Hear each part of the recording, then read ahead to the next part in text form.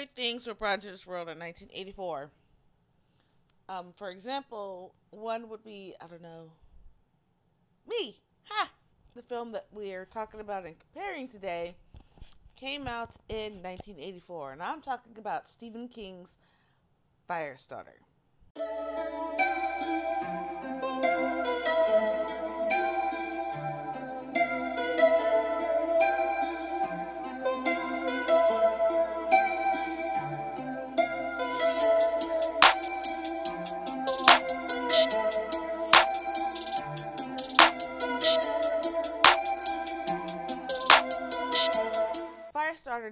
1984 came out starring David Keith as Andy, Heather Locklear as Vicky, and a very young Drew Barrymore as Charlie.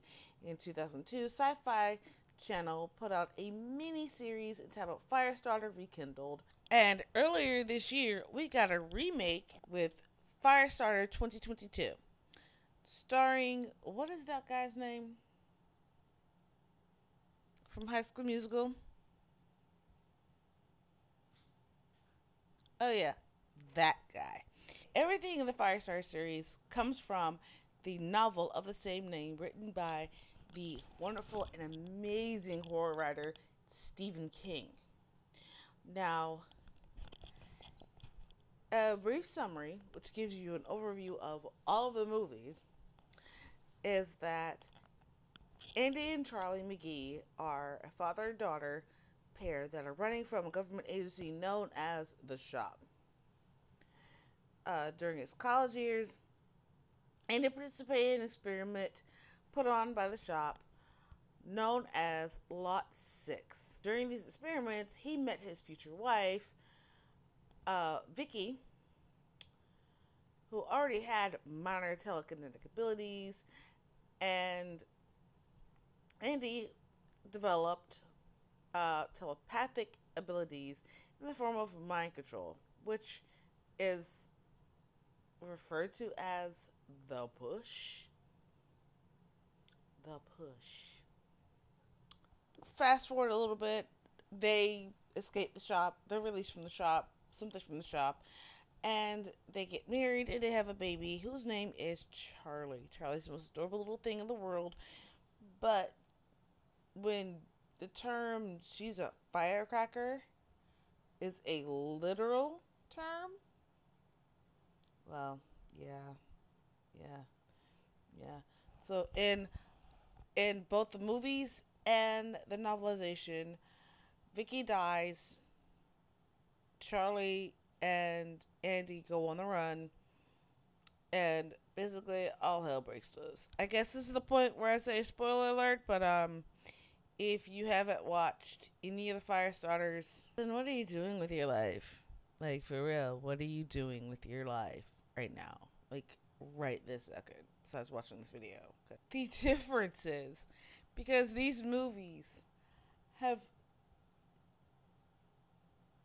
creative license differences between the source material, which is the novel. In the 1984 adaptation of the novel,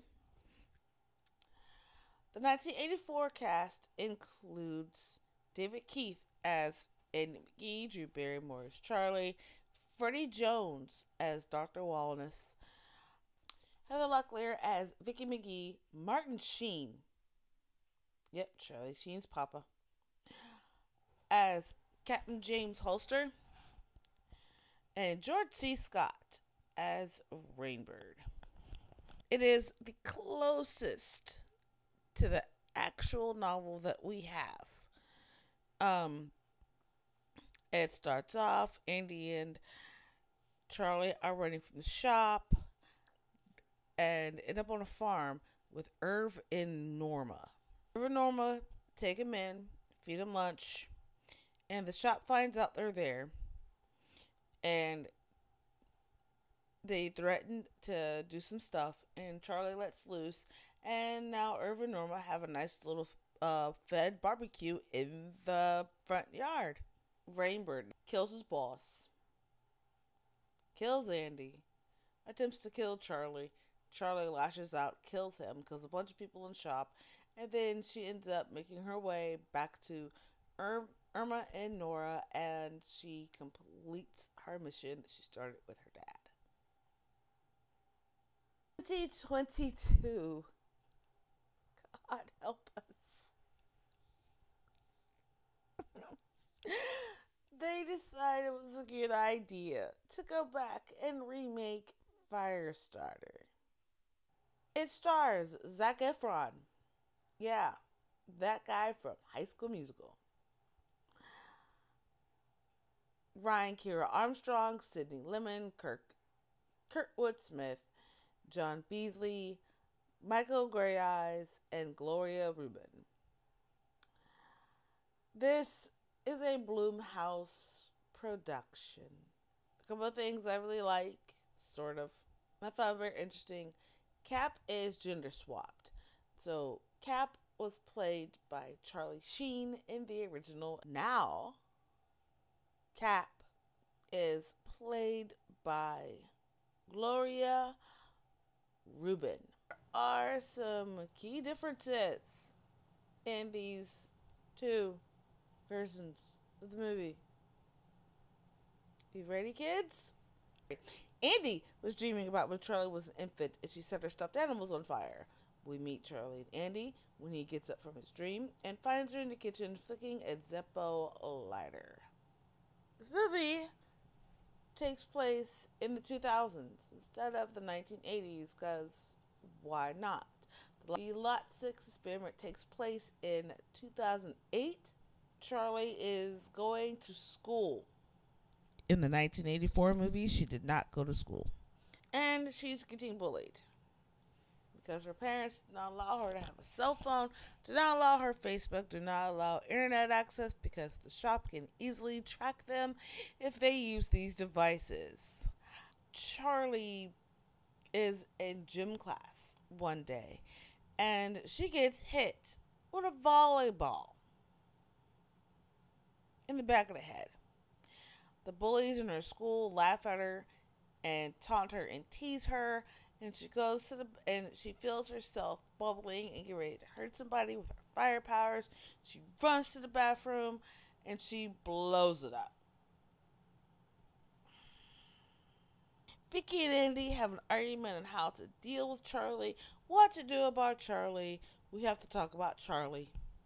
And Charlie gets into the argument, yells at them that she hates them, she hates herself because she set fire, and much like in the 1984 version and the novelization, Charlie burns her mom's arm. But the burn is much worse than we're led to believe. Because Charlie is so upset that she hurt her mom, Andy takes Charlie out for ice cream. While she's out, Rainbird comes to the house and does what he does best. And if you read the book, watch the 84 version, you know how he takes care of Vicky in the 2022 version, except Vicky actually puts up a pretty good fight. Charlie burns down the house, and Andy takes her on the run after they discovered Vicky's body where they discover it. They are running away from the agents. They meet up with Irv. Here's the difference Norma is not conscious. Irv is a little bit twisted in the head. Thanks for that, Blumhouse. Irv gets drunk as a skunk and he does things that he does not remember in the morning or he regrets. They have their little confrontation with the shop. Irv does not make it. like in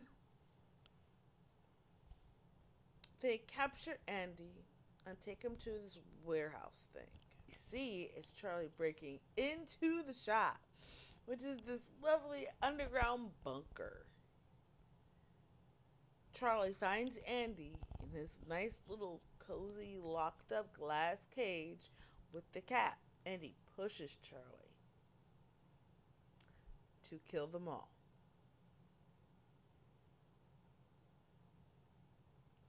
including himself. And she straight Carrie White's the whole thing. It's kind of obvious there's a lot of differences between the 1984 movie and the 2022. I actually like the fact that Andy takes the time to teach Charlie how to control her powers and to not feel guilty about who she uses her powers on. I really, really am actually okay with the 2022 remake. I'm just not enough of a fan that I will sit down with a bowl of popcorn and watch it over and over again, like I am with the 1984 version. Irv, they did my man Irv wrong. They they did they he did Irv deserved better than that. Thank you for joining us on this special 13 Nights of Halloween movie review. Oh my god. if you liked what you watched, please like, share, subscribe Comment down below. Tell me what you think. Did you like the 2022 reboot? Or do you think that it was cash trash? Did you like the 84 original? Awesome. Let me know. If you didn't, let me know. Um, but like I said, like, share, subscribe. Also, while you're down there, check out the links to the social medias below. And if you like what we do, if you want to see more of what we do, if you want to see more of our short films, our reviews, our reactions, our gear, want to see us use more, get new gear so we can update stuff, please click on the link to our Patreon and consider becoming a member because you guys get really cool stuff, early access to things that we put out, exclusive behind the scenes footage, videos, and stuff.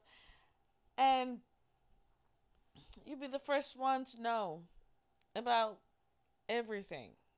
Like, everything. And I will see you in the next one, lovelies. Bye, lovelies.